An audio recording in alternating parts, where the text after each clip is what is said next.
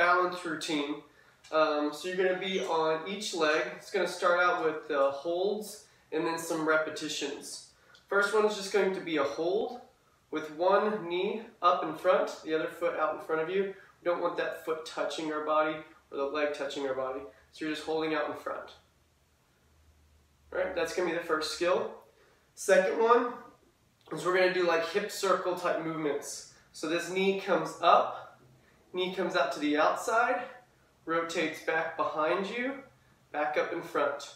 Trying to keep the shoulders square, just trying to make as big of a circle motion as you can with that hip. Next one is going to be like a scale type movement.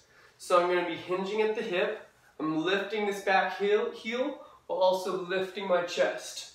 So I go down, back up, just kind of hinging at the hip.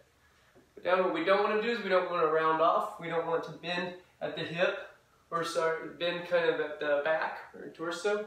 So you're trying to keep your chest up, you're trying to keep that heel up, almost like a slight arch to your body as you hinge, and then back up. And then the last one is going to be kind of a combination of the two movements. Leg is going to come up in front of you. It's going to come around to the side. As we go behind, we're going to go into that scale type position and then back up. You're going to be doing repetitions of that. Repeat on the other side for however many reps and holds that uh, is prescribed.